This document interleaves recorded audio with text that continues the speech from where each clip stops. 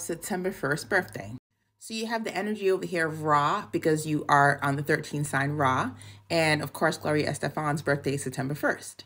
So when you're looking at portals, you want to make sure that you know which signs you are so you understand how the universe is going to work with you.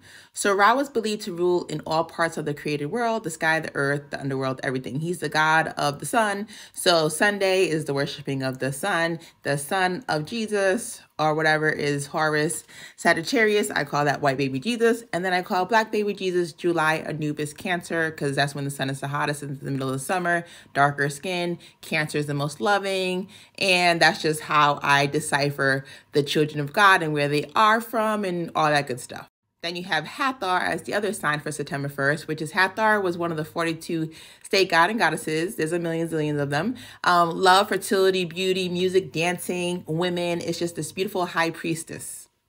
So you definitely want to look into Zendaya because that's the energy that she brings. That's the energy. It's like a beautiful womanly energy, but she has fire behind you. So if you're a masculine person and you're born in this energy, you're still going to have Ra behind you. So you're going to be just as beautiful and with the sun and everything behind you for that energy and that strength. So she's a very strong figure. She can stay grounded with earth, but also the fire behind her keeps it going. So, um, so my daughter's birthday is September 10th, okay? I named her Ali after the singer. And um, at the time, I didn't know when she was going to be born. I knew she was going to be born, but I didn't know it was during the Virgo and Ra. So Aaliyah passed away August 25th. Michael Jackson was born August 29th. So their energy is, he was coming in during the same energy she was leaving. When I was hospital napped, um, Michael Jackson, like it said on, on a room in Astroland, it said Jackson on top and then it said Aaliyah. So Aaliyah and Jackson were in a room together. And I was like, what? Then coming to find out that Aaliyah's actually buried with her father, Michael, and they're not buried, they're in a tomb together.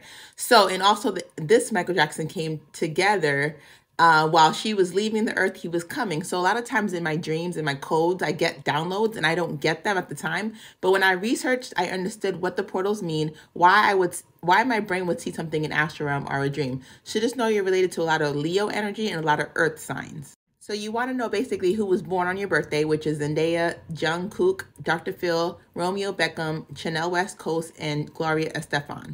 So if you see these people in your dreams, it's because they have that fire and that Virgo energy, that fire rod, that Virgo Hathor beautiful, shining people. I love them, very analytical, understand what I'm saying. May not get that deep into it, but they get what I'm saying. Like they'd be good doctors that were awake. So if they were doctors, artists, and you could talk to them, psychologists, they would prescribe you the right things that you need without overdosing you, as well as understanding.